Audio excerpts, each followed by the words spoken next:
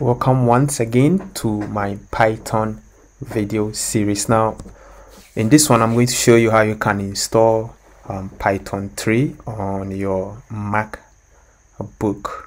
So quickly go to google or in your search bar search python download.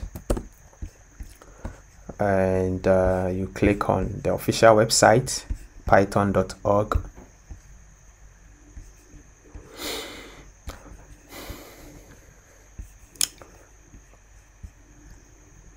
and download the python 3.9.6 which is currently um, the latest version for um, macbook and windows as well. Okay so click on this to download that and make sure you save that.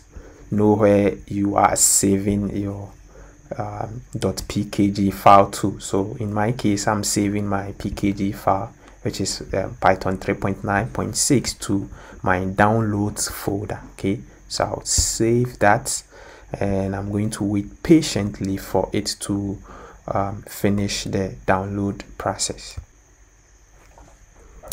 All right once your download is complete head over to your downloads folder and here i have it python 3.6 simply double click on that to open your installer your macbook installer. And that's it.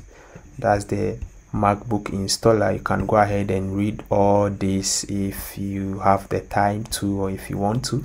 Okay? I've gone through this already so i'm going to hit continue. And you read all this important information for you. Click continue.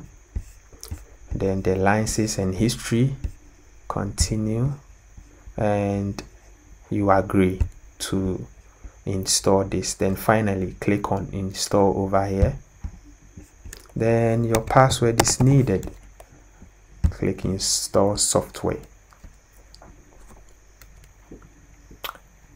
It should finish with this installation process in less than a minute or two depending on the speed of your computer. I don't think this should take you more than two minutes to install python 3 okay so that's it. It's done. And these are some of the files we have on our computer. So we have the idle over here which we are going to um, be using. Okay so when i open the idle you can see python 3.9.6 all over here. Okay. Now let's verify let me close this.